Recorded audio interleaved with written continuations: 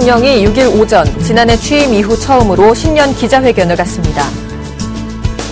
이동통신사들의 보조금 지급 경쟁 과열로 법정 보조금 상한선을 넘게 지급하는 업체들이 나오면서 번호 이동 건수가 하루 3만 명을 돌파했습니다. 김종수 한국은행 총재가 필요하면 금융시장과 외환시장에 대해 시장 안정화 조치를 취할 것이라고 밝혔습니다. 현대자동차가 2015년형 제네시스에 구글 글라스와 웨어러블 전자장치를 사용할 수 있는 애플리케이션을 제공할 예정이라고 발표했습니다.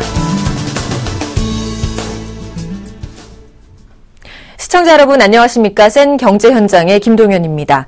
코스피 지수가 외국인의 연이은 매도세에 오늘도 1% 넘게 하락하며 1950포인트 아래로 떨어졌습니다. 오늘 장 마감 소식 증권부의 조민규 기자 연결해서 자세히 들어보겠습니다. 안녕하세요. 안녕하세요. 네, 자세한 마감 시황 알려주시죠. 예. 코스피 지수가 외국인의 대규모 매도세에 1950포인트 아래로 밀려났습니다. 3일 코스피 지수는 전날보다 1.07%, 21.05포인트 하락한 1946.14포인트의 거래를 마감했습니다. 외국인이 전날 3,136억 원에서 이날 3,213억 원 순매도로 매도세를 키우며 지수 하락을 주도했습니다. 코스피 지수가 1950포인트 아래로 마감한 것은 지난해 11월 29일 이후 처음으로 전날 하락분을 포함하면 새해 들어 이거래일 동안 65.20포인트, 비율로는 3.24%가 빠졌습니다. 이에 따라 유가증권 시장에서만 이틀 새 40조 원에 달하는 돈이 허공으로 날아갔습니다. 업종별로는 섬유유복과 종이목재, 비금속 광물, 의료정밀과 운수창고 업종만 소폭 올랐을 뿐 대부분의 업종이 하락했습니다. 특히 금융업이 2.18% 곤두박질 쳤고 서비스업과 음식료품, 유통업도 1%를 훌쩍 넘는 낙폭을 기록했습니다. 시가총액 상위 종목도 대부분 큰 폭으로 떨어졌습니다. 삼성전자가 외국인의 매도가 집중되며 0.99% 떨어졌고 네이버와 신한지주, KB금융이 3% 넘게 급락했습니다. 시가총액 상위 20위 가운데 SK하이닉스만 2.11% 상승하며 장을 마쳤습니다. 이날 유가증권 시장의 거래량은 1억 8,600만 주, 거래대금은 3조 9,190억 원을 기록했습니다. 네, 코스피 지수가 새해 들어 벌써 이거래일째 큰 폭으로 하락했죠. 특히 전날 삼성전자와 현대차 등 대표적으로 엔화 약세를 받는 종목들의 하락세가 두드러진 반면 오늘은 내수 업종들이 약세를 보였습니다. 전문가들은 이 원인이 뭐라고 분석하고 있나요? 네. 가보년 새해 첫 거래일에 삼성전자와 자동차주가 엔저 바이러스에 감염돼 급락하더니 이틀째는 이 바이러스가 내수 업종 전반으로 확산되고 있습니다. 전문가들은 글로벌 경기 회복에 대한 기대감보다는 엔저로 인한 실적 우려가 투자 심리에 더 크게 작용하고 있다고 분석합니다. 은성민 메리츠 종금증권 리서치 센터장은 최근 반등하고 있는 물가와 높은 정부 부채를 감안할 때 일본이 무한정 돈을 풀기는 어렵지만 올 상반기까지는 확장적 통화정책 기조를 이어갈 것으로 전망된다며 원엔 환율이 천 원 아래로 내려오면서 국내 증시에 대한 부담감이 커지고 있다고 설명했습니다. 이어 특히 엔화 약세의 부담은 자동차와 전기전자 등 에서 내수업종으로 확대되는 조짐이라며 이는 대기업뿐만 아니라 직접적으로 환율의 영향을 많이 받는 중소기업들의 실적 악화로 이어져 국내 내수 경기가 침체될 수 있다는 우려 때문이라고 해석했습니다. 실제로 전날에는 시장 대비 선방했던 내수업종들의 이날 금, 이날 급락세가 두드러졌습니다. 금융업이 2.18% 곤두박질 쳤고 서비스업과 음식료품, 유통업도 지수 대비 낙폭이 컸습니다.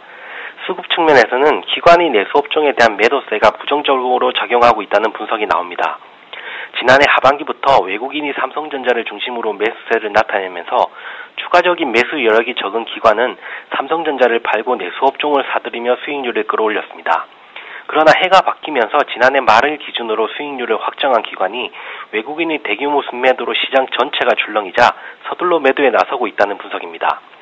실제로 기관은 이날 서비스업에서 472억 원어치를 내다 팔았고 통신업과 유통업, 건설업에서도 매도 우위를 나타냈습니다. 노근환 한국투자증권 투자전략팀장은 현재 국내 경기를 감안하면 내수업종이라고 해서 실적 기대감이 큰 것은 아니다며 이에 기관이 그동안 매수에 나섰던 종목들의 매도세를 키우고 있다고 설명했습니다. 네, 연말에 2,000포인트를 넘으면서 가보년 새해를 맞아 달리는 말처럼 우리 증시도 좀 잘 달릴 것으로 예상했는데 이 거래일 연속 하락했습니다. 코스피 지수의 하락세 언제까지 이어질 것으로 전망하십니까? 네. 전문가들은 코스피 지수의 하락세가 진정되고 반등을 시도하기 위해서는 실적에 대한 우려감을 떨쳐낼 필요가 있다고 조언합니다. 당장 오는 7일 예정된 삼성전자의 실적 발표가 분기점이 될 전망입니다. 배성영 현대증권 연구원은 삼성전자와 현대차 등 그동안 우리 증시를 주도했던 종목들이 무너지면서 시장 전반적으로 투자 심리가 악화되고 있다며 이는 결국 실적에 대한 우려감 때문으로 삼성전자가 잠정 실적을 발표하는 7일까지는 시장이 불안정한 모습을, 모습이 이어질 것이라고 내다봤습니다. 은성민 센터장도 실적 우려감이 주가에 선반영된다고는 하지만 확인하려는 심리도 크게 작용한다며 삼성전자를 포함해 주요 기업들이 4분기 실적이 어떻게 나오든지 간에 실적 확인 과정을 거친 후 시장의 안정을 되찾을 것이라고 말했습니다. 네, 지금까지 증권부의 조민규 기자와 함께했습니다. 오늘 도움 말씀 주셔서 고맙습니다. 고맙습니다.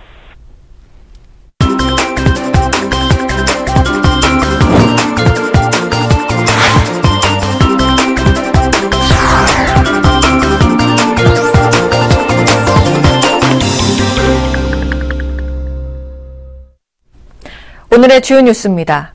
박근혜 대통령이 6일 오전 신년 기자회견을 갖습니다. 이정현 청와대 홍보수석은 오늘 브리핑을 통해 박 대통령이 6일 오전 10시 춘추관에서 신년 구상을 담은 기자회견을 할 예정이라고 밝혔습니다. 박 대통령의 기자회견은 지난해 취임 이후 처음입니다. 향후 국정 운영 기조를 설명하는 자리가 될 것으로 보입니다. 야당과 여론의 비판을 받고 있는 불통 논란을 해소할 수 있을지도 관심입니다.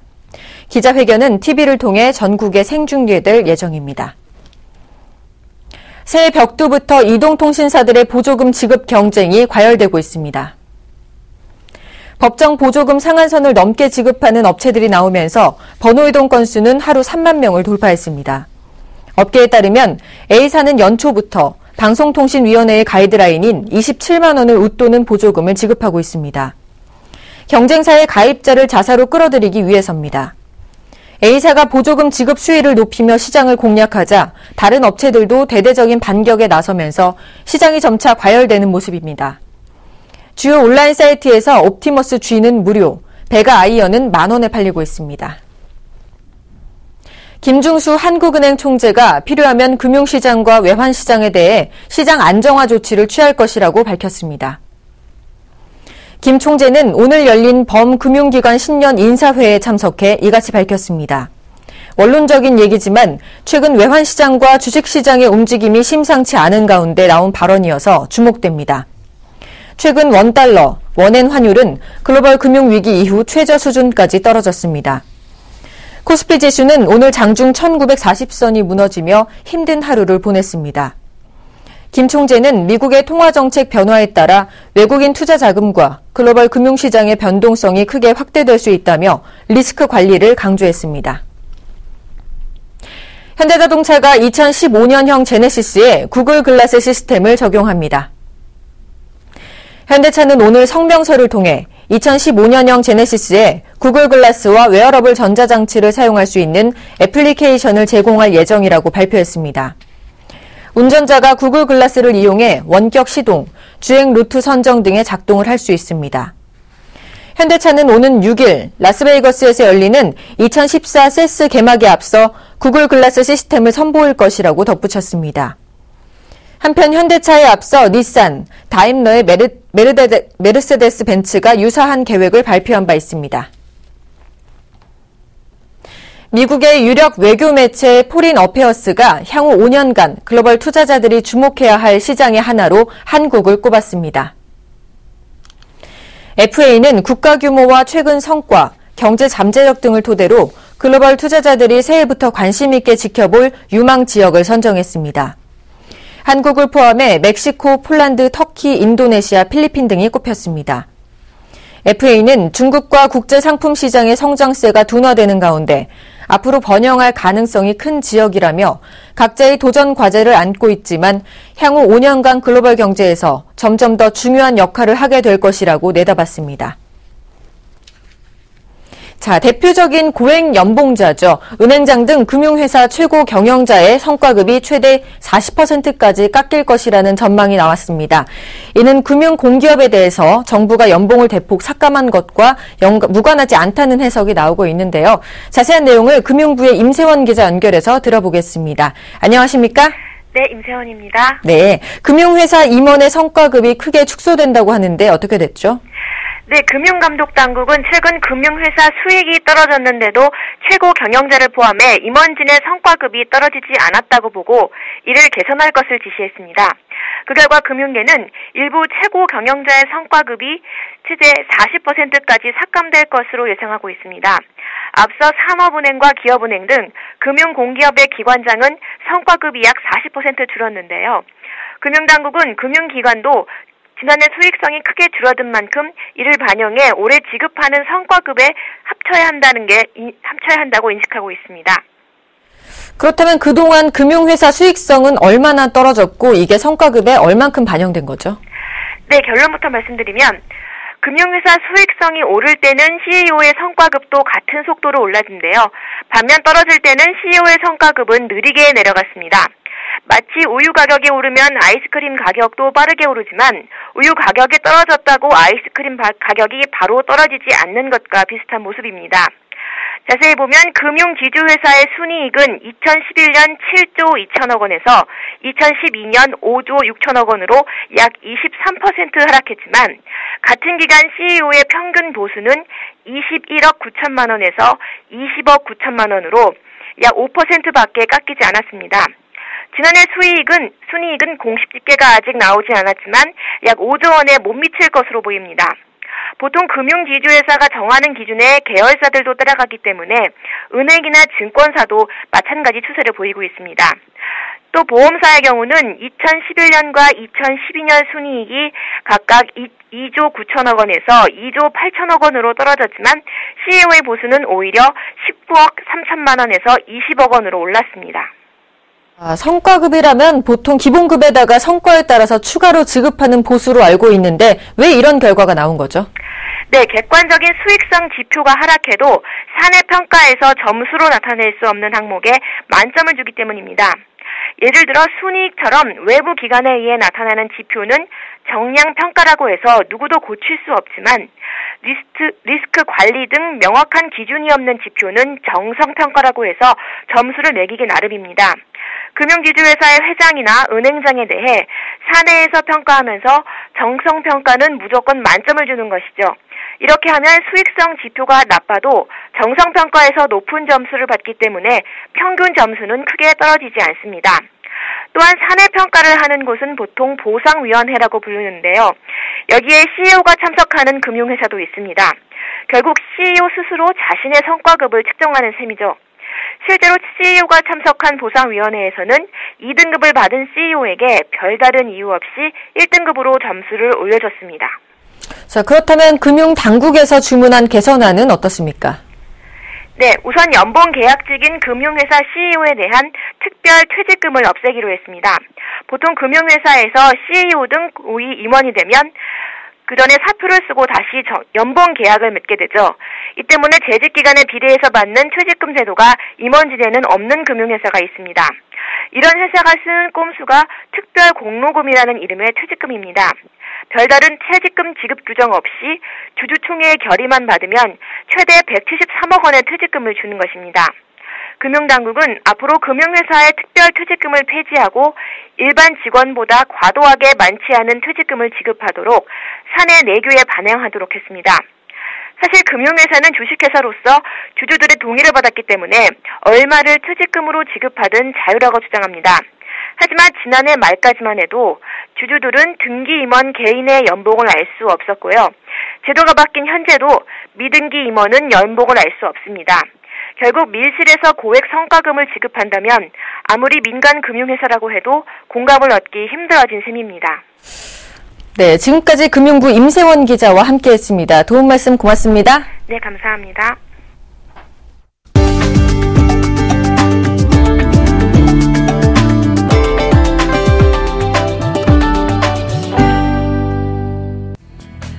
기업은행이 중소기업에 3조 원 규모의 설 특별 자금을 공급합니다. 원자재 결제, 급여 상여금 등 운전자금 용도로 기업당 3억 원까지 대출받을 수 있습니다.